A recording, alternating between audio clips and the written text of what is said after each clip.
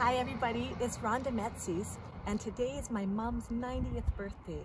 Now mom played violin in the Edmonton Symphony in the 1950s and 60s and she doesn't know that we are going to surprise her with a little pop-up performance of Bach on her front lawn.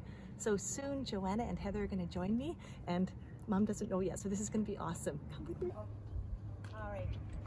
I, I, I took down everything. We'll be playing in a few minutes so Okay. if you want, once we get mom off the phone.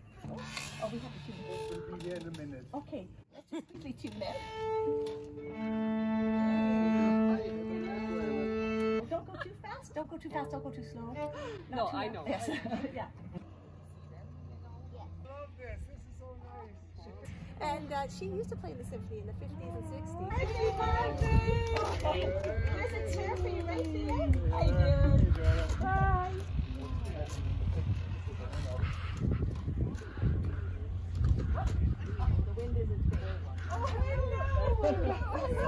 see the rest of you.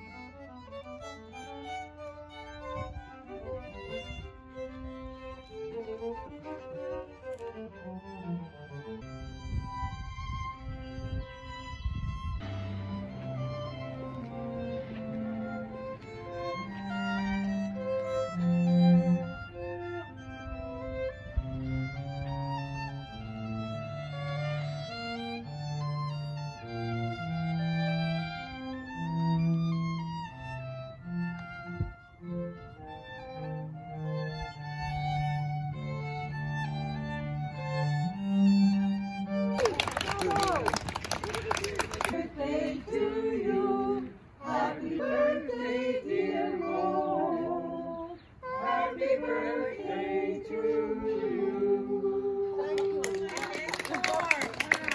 Oh, it was wonderful. A complete secret. I had no idea what was happening.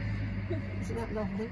And did the very first concert of the Edmonton Symphony back in the day, which Well, I the first concert we had, November the 3rd, 19, uh, how, wait a bit, 50, 1952. yeah, That's it, yes. and then the opening of the Jubilee Auditorium. Yes, I played the opening of the Jew- and various other things.